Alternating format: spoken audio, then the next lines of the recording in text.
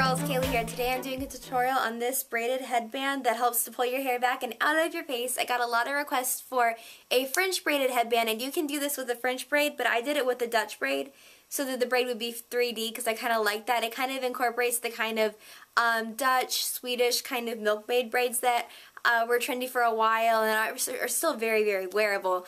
Uh, but it kind of is a more fun version of that because it actually pulls your hair back and out of your face like a headband. So it's really cool. You can wear it a couple different ways. Um, this is part of what I'm trying um, I'm actually going to do a series of just fun, summery braided headband, or braided, not braided headbands, but braided hairstyles. And uh, so I'm going to be uploading those over the next couple days. We're going to see how we like this new format. I'll be putting it in a playlist for you guys. I thought it would be better just to have the one hairstyle. So if you want to watch the one hairstyle, you can watch it. If you don't, you don't have to kind of thing. I think it's more convenient for you guys that way. Um, we'll see. We'll see. So hopefully you guys like this tutorial. And um, I have some more fun ones coming up. I'll, I might put a sneak peek at the end. Who knows? Anyway, um, so I hope you guys enjoy it, and I'm going to go ahead and roll it.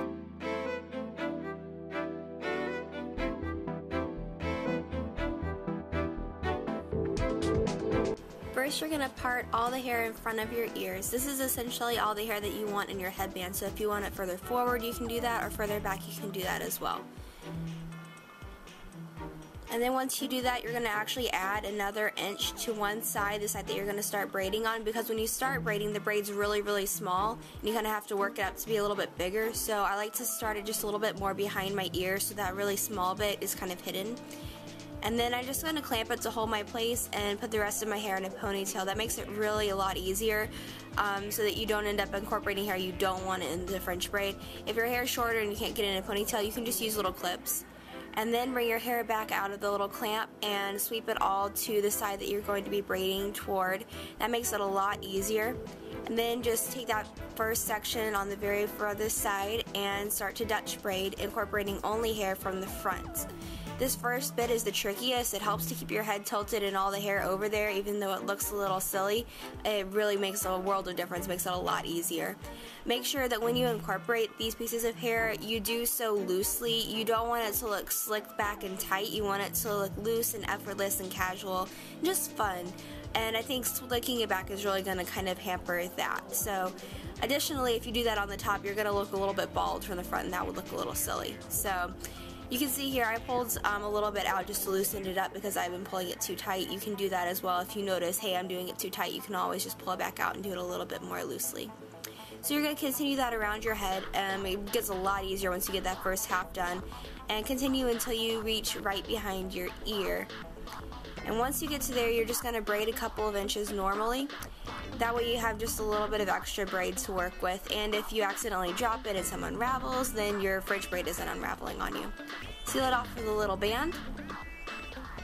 And pin away any little flyaways that might happen, especially if you have layers that might be an issue. All you have to do is use some bobby pins.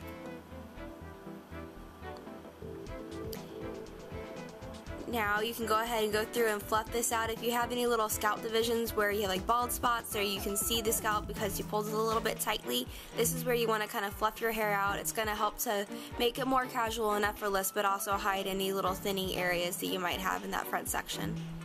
Then if you want to, you can go ahead and align the braid with the hairline and pin it in place and that's going to keep the end of the braid out of sight when you let your hair down. Now this is what it looks like once you let the hair down. You can just wear your hair down like this. It's really cute little style.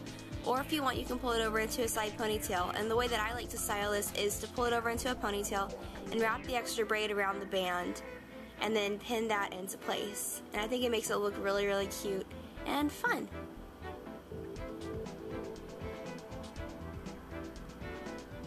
Or one other option, this is actually my favorite of the three, is to pull everything to the back and twist it into a bun. You can make this neat or messy or kind of a neat messy mix, whatever you want to do.